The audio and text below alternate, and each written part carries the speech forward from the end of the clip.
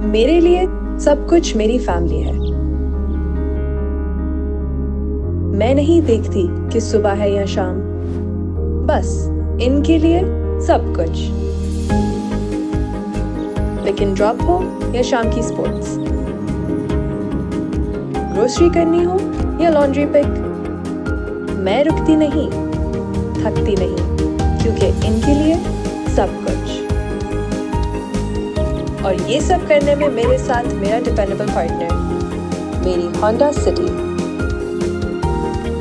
ऐसी कितनी ही कहानियाँ और यादें हैं हम सब की आप भी अपनी होंडा सिटी के साथ अपनी कहानी शूट और शेयर करें। और चेतन ज़बरदस्त इनामात